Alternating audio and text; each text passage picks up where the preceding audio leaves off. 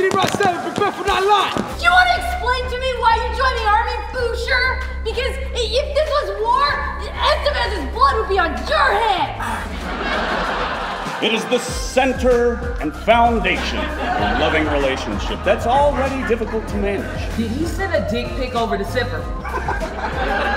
Magazines are face down to prevent dirt from getting in the magazine well, which will cause a weapons malfunction. That sounds made up. My weapon has never malfunctioned. I was just trying to live the army values for Sergeant. Hey, look at me when I'm. Hey, uh, hey, my NCO Supreme, order and discipline over here. What? You know what? I think what we're gonna do is we're gonna handle this the good old fashioned American way. Ah, perfect. I like that.